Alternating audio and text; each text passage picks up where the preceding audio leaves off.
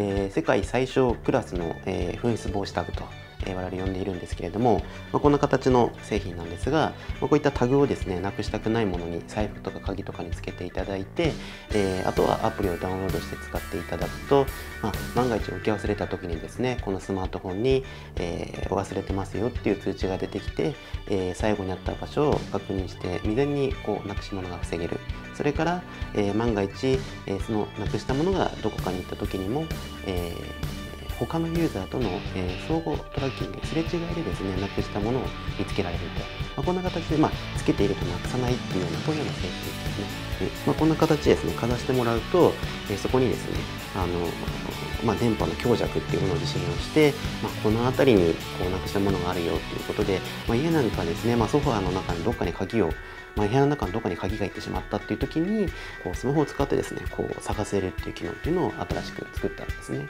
まあ嬉しいですね。あのやっぱり僕らも最初あの一応中期の目標で東京オリンピックの時に、まあ、落とし物が戻ってくる日本を実現したいっていうのでやっていてあのやっぱ落とし物が戻ってくるのって結構日本のやっぱりすごいいいところだっていうのは海外でも話題になったりするのでじゃそれもあの、まあ、善意だけではなくて何か技術とか新しい仕組みを使ってそういうのがもっと早く確実に持ち主に戻ってくる仕組みっていうのを、まあ、できたらいいなとで、それが世界に対して発信できるんだとすると、まあ、2020年東京オリンピックの時とかっていうのが多分一番いいチャンスなんじゃないかなと思っていて、まあ、そこに向けてですねあの一番絶好のタイミングで、えっと、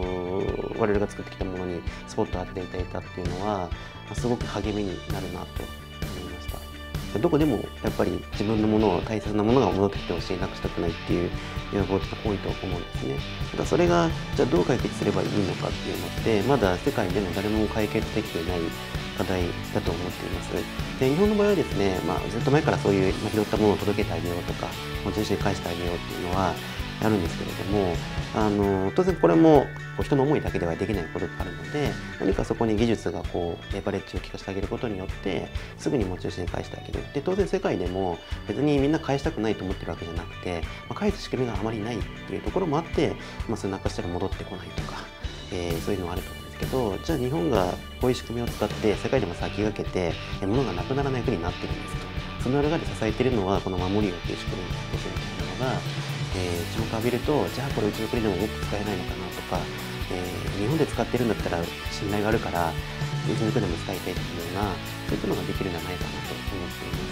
これ入れるだけでなくしたものが見つかるんだとかなくさなくて済むんだっていうのは結構やっぱり驚いて、えー、見ていただける、えー、海外の方も多いのでそのあたりの、まあ、日本が持っている文化っていうえー、ところとあとはまあその日本のものづくりっていうところをうまく噛み合わせて、まあ、これ日本品質で、えー、解決できるんだねっていうようなのをうまく、え、海外にも発信できたらなと思っています。